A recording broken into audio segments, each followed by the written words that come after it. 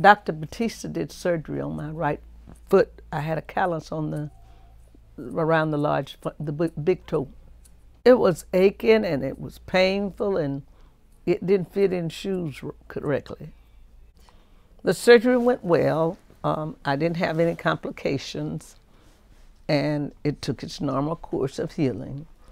And I didn't have any like diabetes or anything, so it healed rapidly.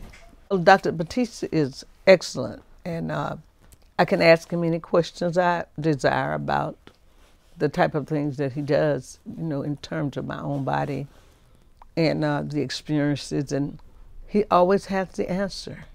I would recommend Dr. Bautista to anyone I know that needs help.